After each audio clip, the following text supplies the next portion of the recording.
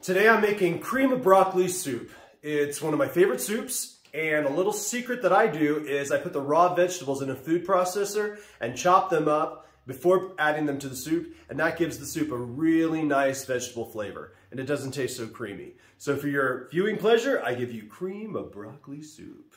Enjoy. Here we go.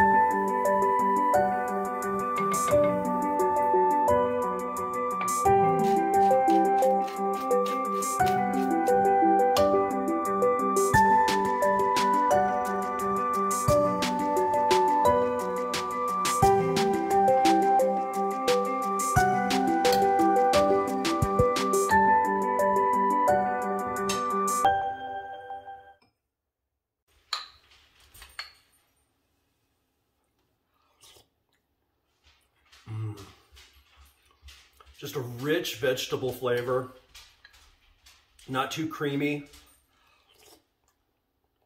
Mm. Never buy Whole food soup again. Make it yourself.